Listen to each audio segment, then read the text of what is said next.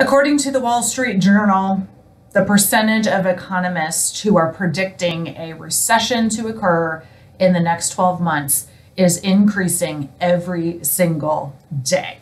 So, we all know the definition of a recession, which is two consecutive quarters where the gross domestic product is in a decline. So, it's a negative number as opposed to a positive number.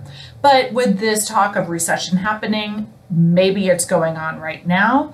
What does this really mean to home values? Stay tuned.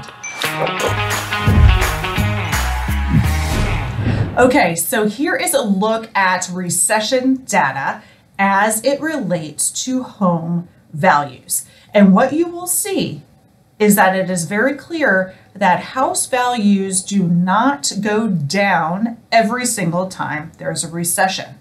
So, why are people panicking about the word recession and thinking, oh gosh, this is going to be a housing crash. Well, I'll tell you, it's because we all learn from our most recent history. And as you can see by the chart over here, in 2008, oh my gosh, that was the last recession we had other than 2020. And it was a tanking real estate market. But what you have to understand is it wasn't a recession first, and then the house prices started to go down and the value started to go down. What happened was the home values started to go down because of foreclosures and short sales and things like that. And that caused the recession. So the recession didn't cause the prices to go down. The values going down caused the recession. But in this chart that you see over here, you can see in all the other one, two, three, four, five, six uh, recessions that we had, only two of the six had negative house values, and the one in 1991 was just 1.9%. So that was a pretty stagnant house value thing. So, just to reiterate, a recession does not mean house values are going to go down. What a recession does mean is interest rates eventually will start to go down to help build the economy back up. So in this chart that you get to see, you'll see in one, two, three, four, five, six recessions that we've had, in every single one of them, the mortgage rates went down. And the last three recessions that we had, so the first one was immediately following uh, September 11, 2001.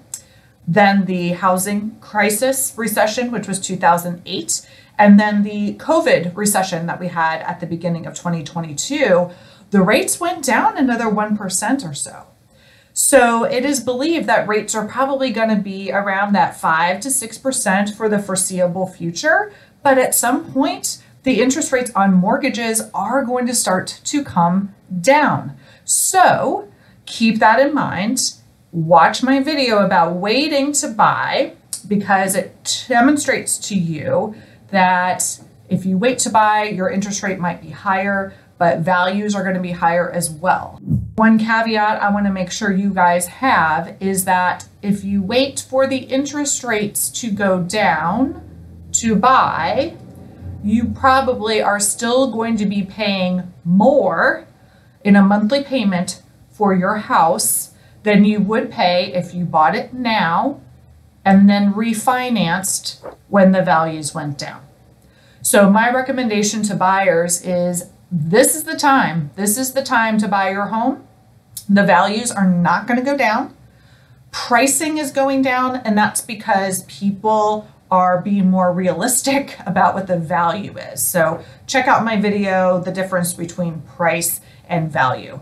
But Buy your home now, you'll get a good price on your home. The value will go up over time. And then when the rates go down, refinance your house. And you should have some equity in it ready to go, and you can refinance it at the lower rate. So the recession will eventually result in mortgage interest rates going down.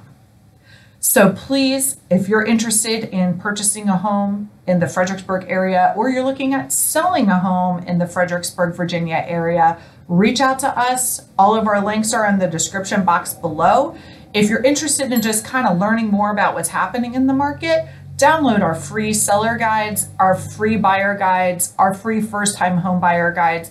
We put these together for you so you are armed with information and you can make the best decisions for you and your family.